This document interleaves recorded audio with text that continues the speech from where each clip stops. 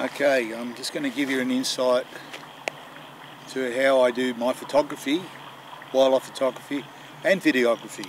As you can see, uh, perhaps if I was doing videos, I may not use this, this particular lens. This is a 500 mil. I probably use me uh, 70 to 200, um, but for when I want to get close to the animals, I'd probably go to the 500 prime. But this is on a Rode microphone. It's called the Dead Cat, and this stops the interference like wind to a degree, not not completely, but does a good job. Um, and the other, you don't get so much distortion in your uh, in your video when you look look back at it. Perhaps the Nikon P P900 and the P1000, incredible uh, videography camera, but the audio is very um, pretty ordinary. It's, you know, it's a shame that they don't have a better audio system on them. But as you can see, this is a prime 500mm lens I've got here on the D810. So what I'm actually filming on is the uh, D, D850. So um, to give you now a few tricks when you're actually filming, what I do now, it's not very windy today at all, so just make sure everything's on tight on a, this is a Niwa tripod, carbon fibre, and the Niwa ball head, which I love. I love ball heads because you can gives your um, latitude with your movement of your of your of your lens, so you can straighten it up um, until you you've set it, and then you can lock it in, and it'll stay where it is. Um, 500 is brilliant, brilliant. Like if you're filming with this, it's superb. So Lenses are important too, not just a, a straight prime lens, 500 mil. Then you've got your telephotos. Then you've got your, your landscape lenses, your macro lenses. Um, yeah, so to get that unique type of footage you'll want, or photos, depends on what lens you're using on your body. Now, a little secret with mine, I've, got my day pack here, and um, what I'll, I'll, show you is um, stop that vibration, if you just leave the tripod on its own, it, when it's windy, it will shake. And it will shake, if it's real windy, it'll shake anyhow, whatever you do. But to minimise that, you've got a little hook here. See the hook? And what you can do, if you've got your, as you can say, I've got, I've got me, um, I've got to be careful here because I've got all this stuff out. Um, my gloves, my hunting gloves on a cold day. As I say, the weather's finding up. The binos. Photography, so it, it's an art in itself when you're filming because, um, or photographing, as I said. They both go hand in hand to, to a degree. And uh, yeah, now what I'll, I'd like to show you, all right, some of the things that, that I may carry in my camera. I'll set this up properly. Oh, a couple of blackies coming over. What I, I do on this is I rotate that around so I got sturdiness in the front leg.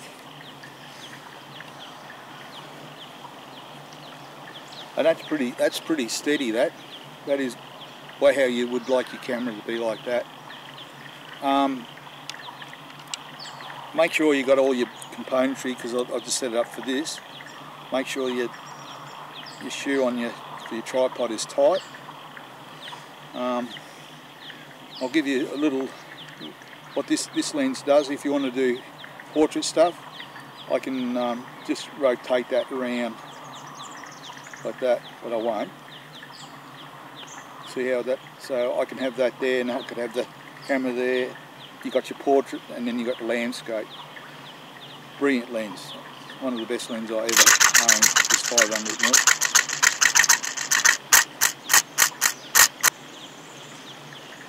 Yeah, make sure it fits into the bayonet. You've got your release for your DSLR there, the, the bayonet part. Make sure that's nice and tight, otherwise you can. I've seen people lose their lenses. I don't sort of worry so much about leveling the tripod as long as it's level enough to be sturdy enough on the on the ground that I'm working with. I have to put it on uneven ground. I just lower lower one that if it's something there that's in the way, I can I can put it so close there, I can move, manoeuvre it a bit so it's stabilised that way. Yeah, wood birds, oh it's beautiful out here. Got everything. Um, this is about deer o'clock now. There's a couple of blackies just flying over the top. This is how you're going to get your excellent footage that it's worth watching. Um, I see so much stuff on YouTube. They spoil it. They, they you, you're hands free. If you're zooming on on a deer, um, you're going to get you're going to get body movement. You're going to your heart. You're going to be excited, so you might have the jitters. By having a tripod, you take all that out of the equation. So just be mindful when you're actually filming. Tripod is the way. Even if you have to carry a little, this this thing weighs bugger all because it's carbon fibre, and this is a, a little knick-knack that you can learn. Is if it's a wet ground you're on, um, good way of keeping your backpack there. And if even if you're um, going a little bit away or you've got another camera set up, it's it's um, it's very sturdy. Not a bad, not a bad. These these tripods are. I've had this tripod for about 12 months now, and uh, so far it's been good. I've got on the other one. I've got a Slik, which is a good. Then I've got a Manfrotto, which is too heavy to take in the bush. Um, things I carry when I'm whether I'm photographing or hunting deer. Essential things is naturally in your pack. We'll have a look. Look at the goodie bag. Naturally you've got gloves. Just put this on the ground.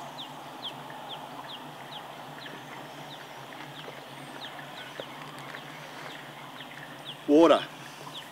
Essential thing, you go off in dry in the middle of summer months or spring months and it's very hot. That'll keep you going. Um, me, I'm getting older, reading glasses, plastic bag for keep, keeping things dry. These are the remotes for my cameras.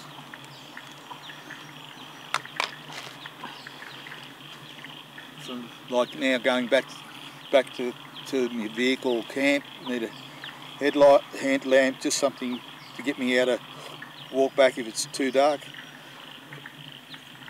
Just a small one.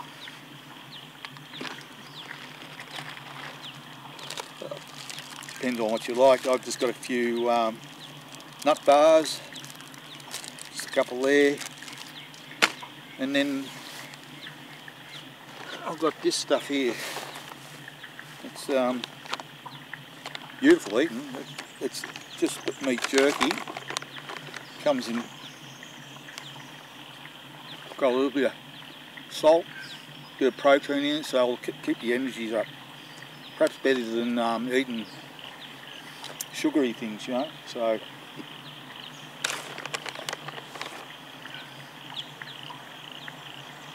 and it's light, so you're not putting extra weight. Like probably what I, other things I'd use. Excuse me. Hmm, that is nice.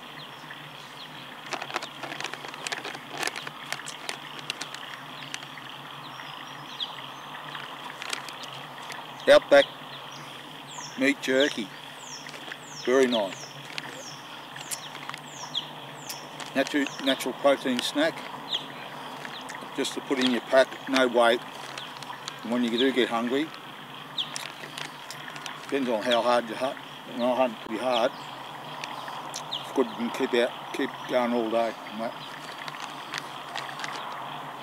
I hope these tips are benefit to your photography and filming.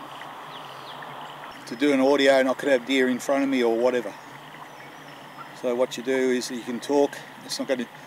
A little tip: if if you're do, doing a talk like I am, although I'm talking on them, you can actually turn your microphone around the other way, so it's facing you.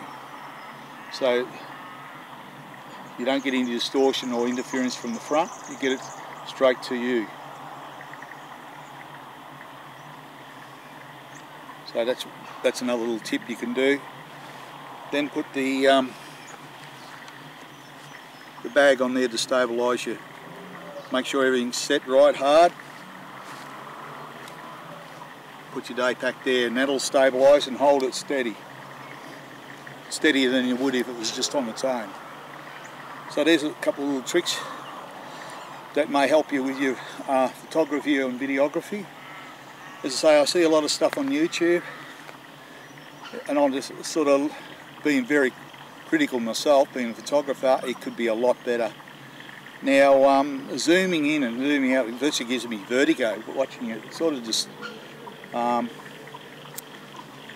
spoils the footage because um, what it all it does is give you the distance from where you are to what the uh, the object is or the subject. That's all it does, and you can do that in post processing anyhow. So you maximise your lens like this here. I can't I can't zoom on this lens. It's a prime, but I can I can zoom use it as a zoom because it's doing on this camera particular um, lens and that 850 I can do uh, 4K resolution which is fantastic and the objective lenses are so good that they're much better than what you get out. Um, little birds flying around here. So that gives you a tip. I'm just going to have a look at it. That's another thing you can talk about too is um, ISO. ISO's, well let's say I'll go back to, to the basis. ISO, aperture, shutter speed, three components that are essential to, to work where, where you get the correct exposure with your camera. As you say now, it's getting it's getting darker, and um, so what's going to happen to your ISO? You need to bump it up to get more light into it, but but you sacrifice light for noise, which is the grainy bit in, in photography. Which you don't, you can get a bit, but when you get starts to get too much, it spoils your your uh, photography. Shutter speed, blurring and freezing. That's what shutter speed does. Unless you can get people to be perfectly still for portrait work, it's fine to go those you know 125 250th of second. But for birds in flight, I crank my shutter speed up to roughly around a minimum of 2,000 and maybe go up to 4,000. Um, what I do to sort of you can't work your ISO, so I'll put the ISO on auto. So where I move it, whether it be going dark or light, the auto ISO will compensate for exposure. So you might get in the darker parts of, of say for instance, if a duck was flying through the trees here, there's a good chance that I'm, it's going to bump my ISO up or bump my ISO higher, which will create noise. But once I put it into skylight, um, and definitely with sun, you're going to go the low ISO. So that's what ISO does. Can you can understand, it only takes you a split second to pull the trigger of a rifle, where when you're working a camera, there's so many componentry of the camera that you've got to consider. Okay, um, you got auto, fine.